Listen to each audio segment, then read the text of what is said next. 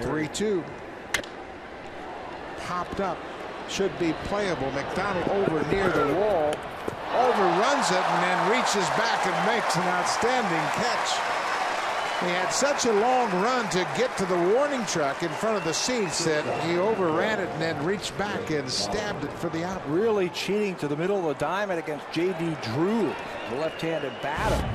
So he had a long way to go. You'll see him come into your picture. Look how far he's got to come. He's got to find the stands and then puts on the brakes and then snatches that one right out of the line, right out of the air.